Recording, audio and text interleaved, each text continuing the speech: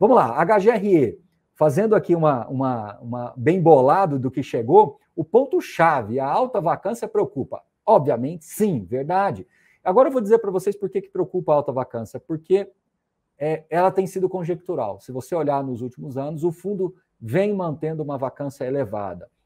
Agora, me preocupa menos hoje do que há talvez dois, três anos atrás. Né? Vamos fazer, vamos voltar no tempo. O HGRE, bem lá atrás, ainda na época, lá na gestão da, do time do André Freitas, que hoje está na rede, bem lá atrás, o fundo cresceu bastante, se tornou protagonista no mercado de fundos imobiliários.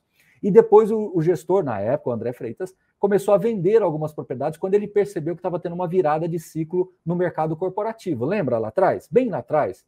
A maioria dos investidores não investiam em fundos imobiliários nessa época. Eu estou contando isso para vocês coisa de praticamente aí 9, 10 anos atrás. Então ele começou a vender muitas propriedades, o fundo apurava muito ganho de capital, quase toda semana tinha um fato relevante da venda de uma propriedade. Vendia dois, dois conjuntos aqui, um conjunto ali, um predinho aqui, um predinho lá, e ele foi vendendo o portfólio. Depois, o, a, o André Freitas saiu para montar a rede ali em 2016, alguma coisa assim, e o fundo passou por uma gestão na época de uma pessoa chamada é, Bruno Laskovski. Ele ficou na gestão do, por um tempo, mercado com muita dificuldade de, de, de, de, crescer, né? Foi aquele momento que o mercado de fundos imobiliários ficou quase que congelado. E depois, então, o time do Augusto Martins, que é o que está até hoje, ele assume o fundo já num momento de mercado melhor também e começa a, a, a tirar toda essa, essa dificuldade do fundo de ganhar musculatura de novo.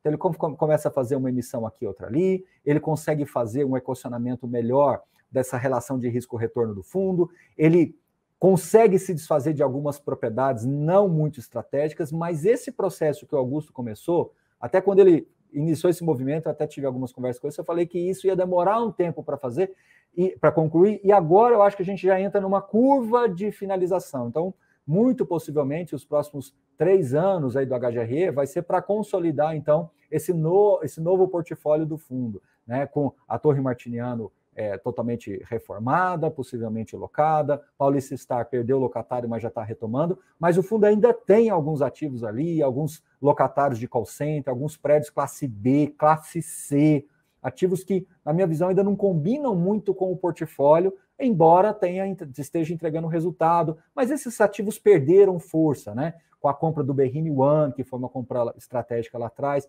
Então, por que, que eu estou dando essa volta toda para vocês? Porque eu, a, a, vacância estrutural hoje de 25% me preocupa menos do que no passado.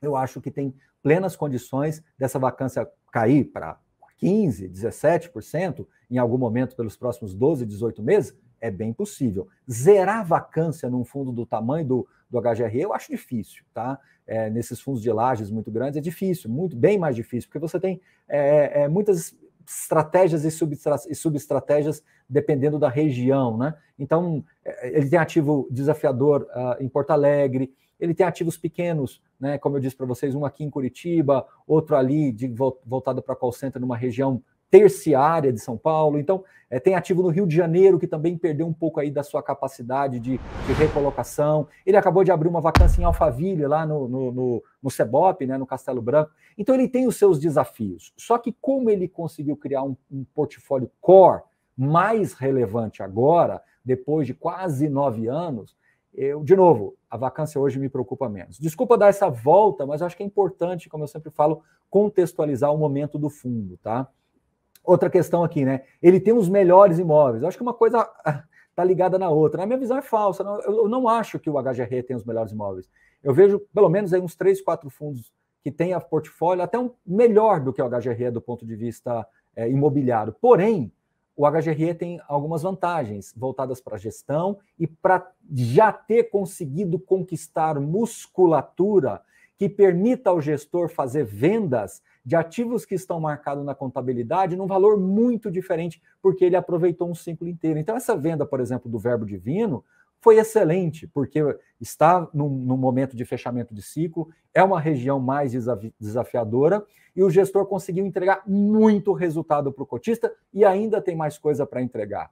Outros fundos talvez não consigam fazer isso, ou tem alguns ativos muito importantes, muito core, que se ele fizer um movimento de venda, ele vai desfigurar o seu portfólio. Então, essa é a vantagem do HGRE. Ele talvez, talvez não, na minha visão, é quase que líquido e certo, assim, é, é, não é o melhor portfólio, mas ele tem uma estrutura melhor, ele tem uma gestão que consegue capturar melhor esse ciclo. Então veja como analisar fundo imobiliário é, é difícil, né? Porque não é, não é só número, você tem que analisar o contexto, a história do fundo, a, a, o momento que ele está vivendo agora e como ele está sendo desenhado aí. Então, acho que o, o, HGRE ele vive talvez um dos melhores momentos dos fundos de lajes corporativas, justamente por essa especificidade que ele tem, tá certo?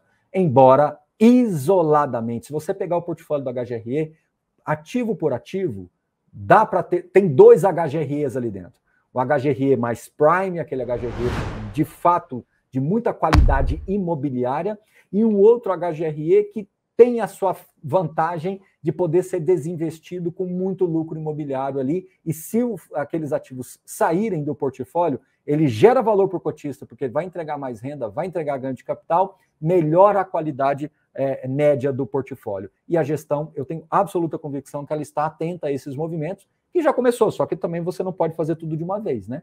Então você está com a venda do verbo divino acontecendo, né? Assim, quando eu digo a venda já aconteceu, mas você está recebendo tranches aí e ainda tem mais outras tranches para receber, não justifica você desenfreadamente continuar vendendo, ah, porque senão você apura todo o resultado num momento único e é melhor você fatiar isso, faz parte da estratégia.